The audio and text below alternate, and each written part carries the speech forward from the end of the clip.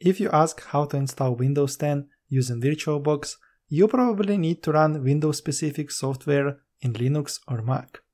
In this video, you will learn how to install Windows 10 in VirtualBox and how to make this Windows guest system completely functional, including full screen mode, shared clipboard, shared folder, and other useful features that integrate virtual environment and your main system. Let's get started.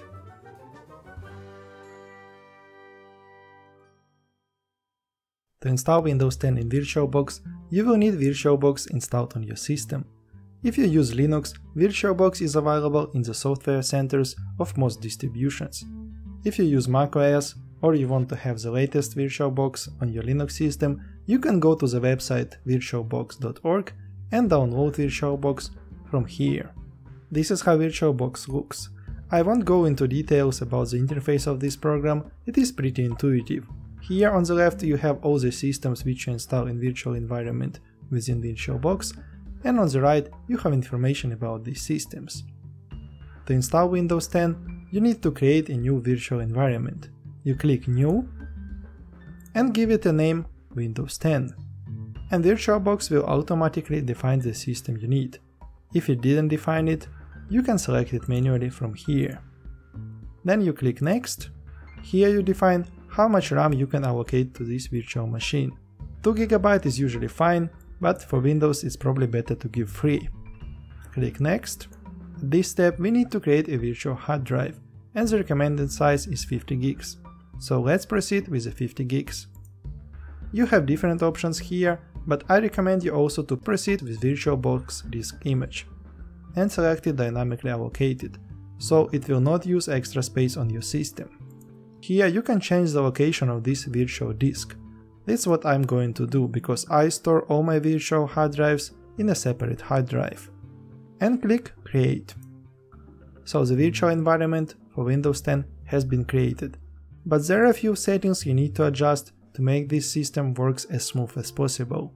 Here in the system settings I usually disable floppy and move it down in the boot order. Next you also need to enable EFI because Windows 10 uses EFI boot system, and you can also set hardware clock to UTC time. In the next tab I also recommend to allocate more than one CPU to your system. In my system I have 4 cores, so I will allocate 2 cores to this Windows system.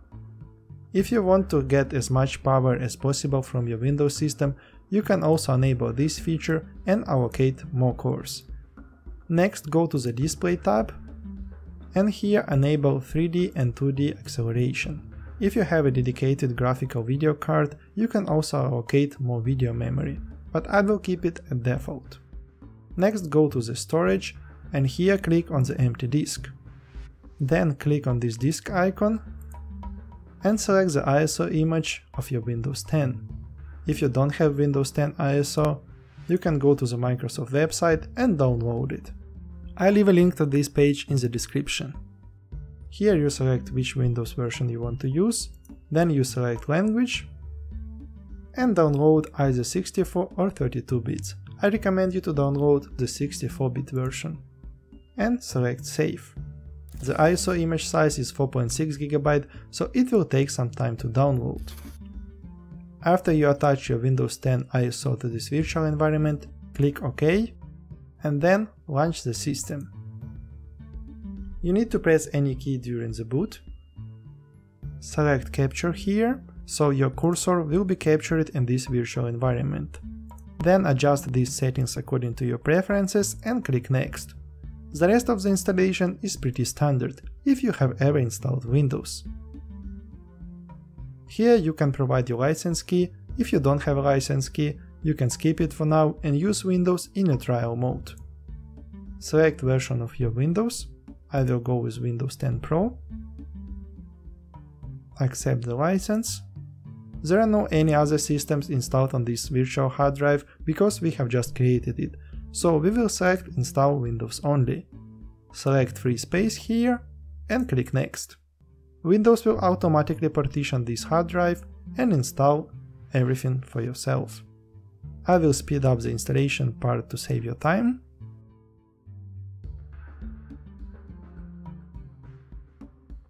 After the installation process has finished, the system will automatically restart. The first boot is pretty long because Windows is installing some programs as it always does during the restarts, so I will speed up this part too. Next you select your region, keyboard layout. You can also add a second keyboard layout, I will skip it. This Windows 10 installer needs to do some additional settings for you. Luckily, I will speed up this part too. Select how are you going to use this system. For me it is personal use. You can skip an account. Provide your name. Password. Confirm password. Then you need to set three security questions. I will quickly skip this part. Well, if you use multiple devices, you can connect them here. I will skip it. I don't need any digital assistant, so I will decline Cortana here. And I usually prefer to disable all these options here, because I don't need any tracking and advertising. Accept. Well, yeah, it says it will take several minutes, but my impression that Windows 10 installation takes ages. If it were Linux, it would have been installed already. But don't worry, I will speed up it again. Yeah, I like this message, leave everything to us. This is not what a Linux user probably would like to do. Well, the installation is complete, and here's our Windows system, but as you can see, there is one problem. This Windows screen is too small and it is not adapted to your screen size. So we need to correct that and also enable some additional features. To do that, you need to go to the menu of your virtual machine and select here in the devices menu insert guest addition CD image.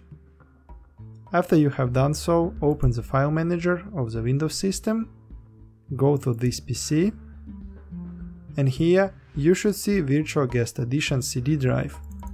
Enter it and install this VirtualBox Windows additions. If you use 64-bit, select this one, or if you use 32-bit system, select this one. I am running 64-bit system here, allow this application, and install it. You can keep everything at default here. Install you may see some screen blinking during the installation, this is normal, just wait. And when the installation is complete, reboot the system. Log into your system, and as you can see, now the screen of the Windows in a virtual environment adapts to the size of your screen. Actually, you can even go completely full screen if you press right Ctrl and F on your keyboard. It looks like a real Windows system but in fact it is Windows system in a virtual environment. And if you want you can access some of the menu here down. You can also exit full screen from here or again by pressing right control and F on your keyboard. You can also go to the full screen by selecting full screen mode in the view menu. You already can use this system quite productively, but there are still few things I would like to show you. For example, I think you would like to have some shared folder this folder will be shared between your Windows system and your Linux system. Here you select machine folders and you add a folder here. I usually share my public folder. If you want more security, you can make it read-only, so Windows system will not be able to write any files into this folder. But if you need more functionality, you probably would like to keep both read and write access to this folder, you can auto-mount this folder and make it permanent. OK. Usually to see this shared folder in your Windows system you need to restart it. After the restart open the file manager and if you go to this PC you will see public folder in the network locations. To test it place any file here. For example, let's create a Windows folder. And if I go to my Linux file manager and go to the public folder, you can see Windows folder has appeared here. Similarly, I can create a Linux file here. And if I open Windows test folder, I will see Linux file here.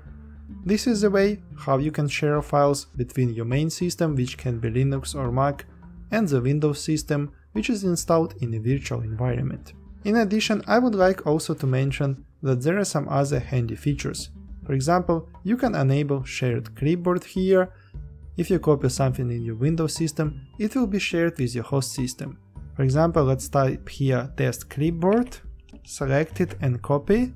And if I go to the clipboard manager in my main system, you will see it has been shared to my main system too. And it also works the other direction. You can also enable drag and drop feature. For example, you can just select a file in your main system and drag and drop it to your Windows system.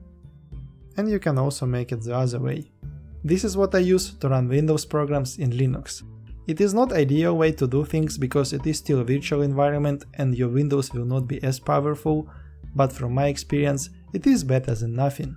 Of course, you can use Wine or other emulators, but from my experience, very few programs work properly in Wine, but all of them will work correctly in Windows which is installed in VirtualBox. So I hope this video was helpful and I also would like to announce that soon I will make another video where I will show how to install and dual boot Windows and Linux. So if you are interested, subscribe and activate the bell notification. Thank you for watching.